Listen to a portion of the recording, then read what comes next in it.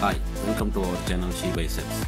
Today watching in this video name of the female bodybuilder Diana Schnaidt and Shannon Seeley has been inspiration for many bodybuilders globally. She is a physical therapist assistant and professional IFBB pro female bodybuilder who started her fitness journey with fashion before becoming a global sensation.